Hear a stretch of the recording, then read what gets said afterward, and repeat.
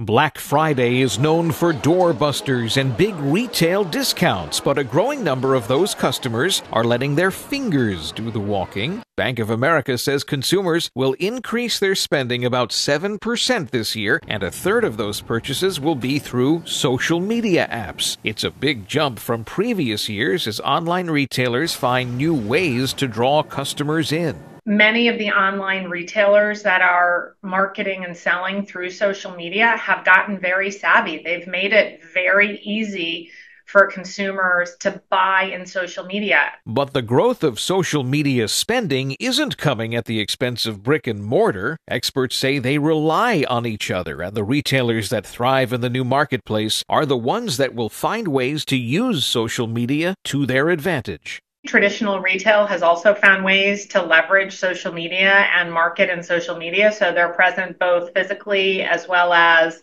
um, in the social media channels. But from a customer perspective, sometimes those buy it now buttons are just too tempting, and that's leading to an increase in impulse purchases. So before you click, make sure it's something you really want so you don't end up with buyer's remorse. Beware because you've got to just think through your online purchases from an impulse perspective and make sure it fits your budget.